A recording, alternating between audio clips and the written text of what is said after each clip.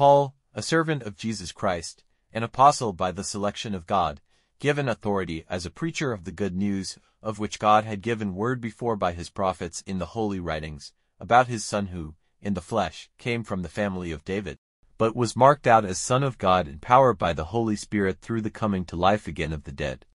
Jesus Christ our Lord, through whom grace has been given to us, sending us out to make disciples to the faith among all nations, for his name, among whom you in the same way have been marked out to be disciples of Jesus Christ.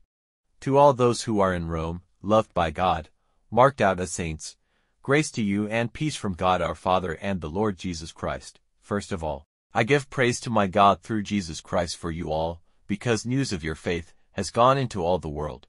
For God is my witness, whose servant I am in spirit in the good news of his Son, that you are at all times in my memory and in my prayers, and that I am ever making prayers that God will give me a good journey to you. For I have a strong desire to see you, and to give you some grace of the Spirit, so that you may be made strong, that is to say, that all of us may be comforted together by the faith which is in you and in me. You may be certain, my brothers, that it has frequently been in my mind to come to you, but till now I was kept from it, so that I might have some fruit from you in the same way as I have had it from the other nations. I have a debt to Greeks and to the nations outside, to the wise and to those who have no learning.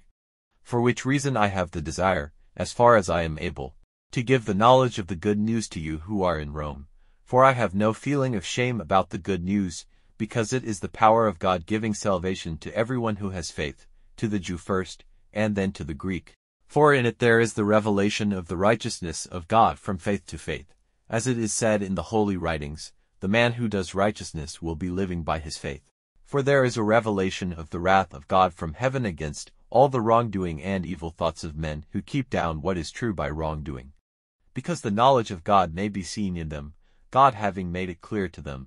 For from the first making of the world, those things of God which the eye is unable to see, that is, his eternal power and existence, are fully made clear, he having given the knowledge of them through the things which he has made, so that men have no reason for wrongdoing, because,